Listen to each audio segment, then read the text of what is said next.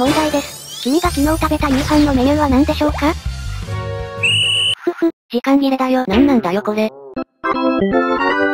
さあさあさあ、先ほどのダンジョンで石が5個になったので、一連ガチャやっていきましょう。もう知ってると思うけど、一応おさらい。一連ガチャのやり方は、とっても簡単。まず魔宝石を5つ貯める。そして、パズドラ愛で心を満たしたら準備 OK だよ。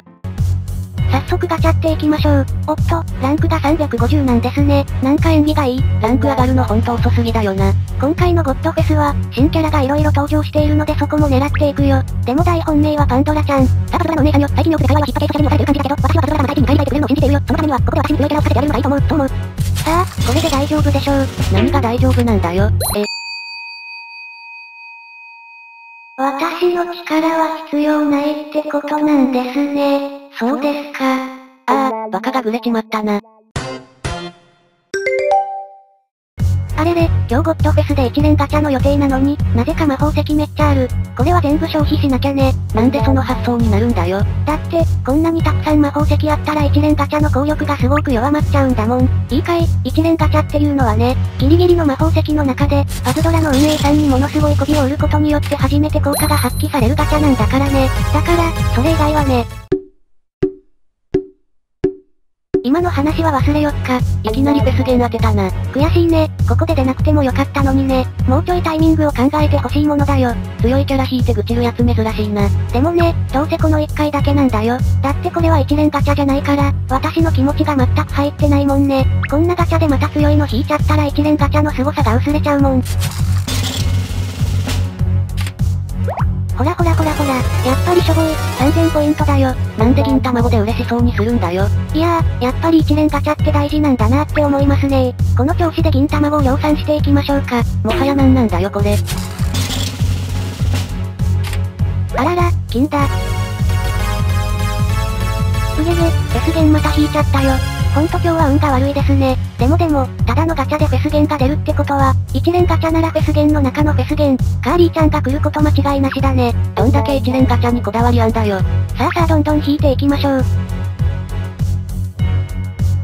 なんとなくなんだけど、私は下げてねの文字が3、4回出現してからガチャを引いてますね。おっと赤いチェスターさん、ドラゴン染めのソニアパに入りそうな可能性があるかもしれないパーセント。日本語で話してくれないか。というか地味にそこそこいいの当てまくってるよな。うん、今日は調子がいいのかもしれない。マジで、久しぶりに、いい感じ。やっぱりテストが終わって課題提出も終わったからかもしれないね。2、3月なんてほんと大学生は学校関連行事なんもないもんな。うん、ウプ主もビビるくらい春休みって超長いよね。まあ冬休みがあんま休めてなかったからどっこいどっこいって感じだけどね。ここでまた銀か。最近のゴッドフェスは銀卵見る方がレアになってきたよな。確かに金の排出率がめっちゃ上がってるよね。だから、パズドラのガチャ効率に慣れちゃったせいで、他のソシャゲのガチャは絞られすぎててイライラしちゃうんだよね。でもパズドラはいらない金のキャラがめちゃめちゃ多くなってきたから、まだバランス崩壊はしてない感じだな。うんうん、火力のインフレとそれに伴う課金効率のバランス。これがソシャゲ市場の永遠の悩みだね。でまたフェスゲンだよ。まさか今日だけで3体も来るなんて思ってもみなかったよ。ああ、この謎にいい感じのガチャ運。でも欲しいキャラが1体も来てないんだよな。確かに、どうせなら全部赤おでんが良かったよ。ポチポチしたいです。ポチポチしたいです。というわけで、最後に赤おでんを引いて一連ガチャでズバンと行きましょう。また金。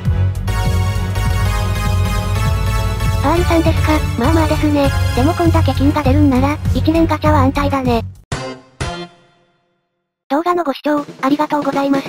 チャンネル登録をすると、ヒカリナの新着動画が見やすくなりますので、ぜひともチャンネル登録をお願いします。スマートフォンやタブレット端末でご覧の方は、動画の下にある登録ボタンから、パソコンでご覧の方は、この登録ボタンをクリックすると、チャンネル登録ができますので、ぜひともよろしくお願いします。では、ヒカリナの他の動画で会いましょう。したっけ